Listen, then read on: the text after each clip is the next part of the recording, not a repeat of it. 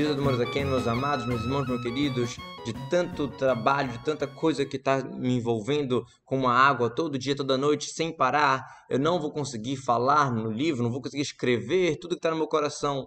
Porém, resumidamente, eu vou lembrar e voltar aquilo que já foi falado antes, de maneira geral, e principalmente para aquelas pessoas que estão indo para reza, para tefilá, vodá, que é tefilá com voz alta, para se fortificar muito com toda a força contra qualquer empecilho de dentro ou de fora, ou seja, alguém de fora atrapalhando ou de nossa intenção daqui de dentro, com mão forte como verdadeiro sentido, que é a, a vontade de, a vontade dos que temem Hashem, que está lá em cima da sabedoria, a vontade do entendimento que Deus deu para a gente fazer tudo que Hashem mandou com entendimento, e sim, uma oração pachuta, uma vontade simples, não composta, um espírito de doação cada pessoa para avodar, completa, fazer satisfação para Deus, ou seja, cada um se fortificar na reza para se entregar acima da lógica. E sobre isso foi falado que Am Ksheoref Alartá, quando Moshe Rabbeinu vai pedir perdão para o povo, ele fala para Hashem, Hashem, teu povo, ele tem uma, uma nuca dura, ele é teimoso, por isso perdoe. Como assim?